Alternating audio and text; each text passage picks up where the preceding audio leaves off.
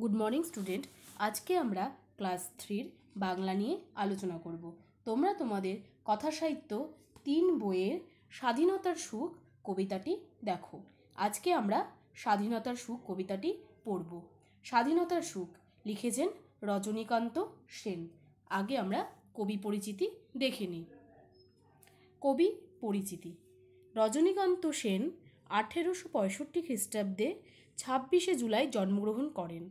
তিনি গান ও কবিতা রচনা করতে পারতেন। গান ও কবিতা লিখে তিনি কান্ত কবি নামে পরিচিত, পরিচিতি হয়েছিলেন। তার বিখ্যাত কাব্যগ্রন্থ বাণী, অমৃত, কল্যাণী, অভয় ইত্যাদি। উনিশশো দশ খ্রিস্টাব্দে তেরোই সেপ্টেম্বর পরলোক গমন করেন। আসো, এবার আমরা কবিতাটা পড়ি।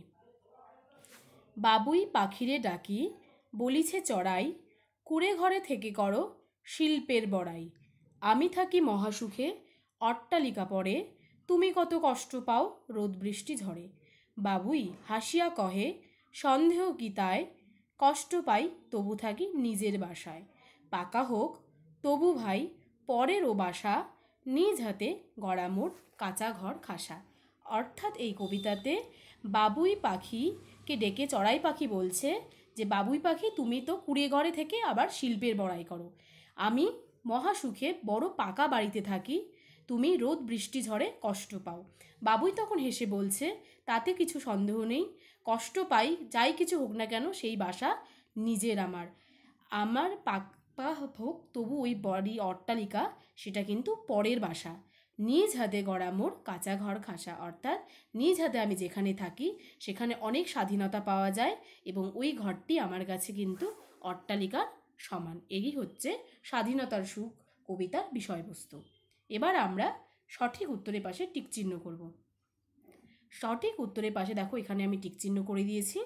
এগুলো তোমরা লার্ন করবে। একের ক, আমি থাকি মহা সুখে, অবলিক মহা দুঃখে, অট্টালিকা পড়ে। উত্তর হবে, আমি থাকি মহা সুখে, অট্টালিকা পড়ে। খ নাম্বার, পাকা, অবলিক কাঁচা হোক, তবু ভাই পরের ও বাসা। উত্তর, পাকা হোক, তবু ভাই, পরের ও বাসা। গ নাম্বার, নিজ অবলিক পর, হাতে গড়া মোড়, কাঁচা ঘর, খাসা। উত্তর, নিজ হাতে গড়া মোড়, কাঁচা ঘর, খাসা।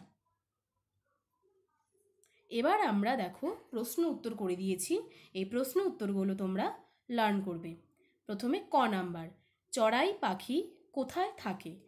উত্তর চড়াই পাখি অট্টালিকার ওপরে থাকে। চড়াই পাখি কোথায় থাকে?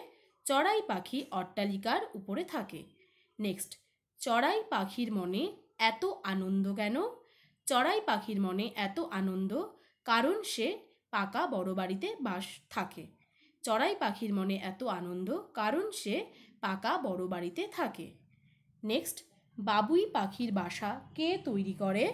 উত্তর, বাবুই পাখির বাসা বাবুই পাখি নিজে তৈরি করে। বাবুই পাখির বাসা বাবুই পাখি নিজে তৈরি করে।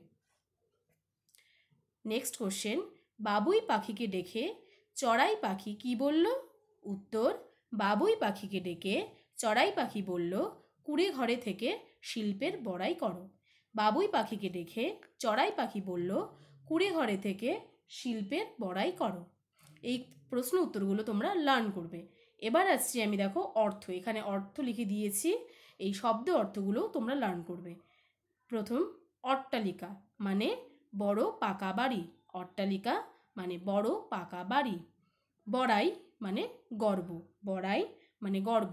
খাসা মানে খুব ভালো। খাসা মানে খুব ভালো। এরপরে হচ্ছে বাসা। বাসা মানে বাড়ি। এই শব্দ অর্থগুলো তোমরা লার্ন করবে। আজকের আলোচনা এখানেই শেষ। Thank you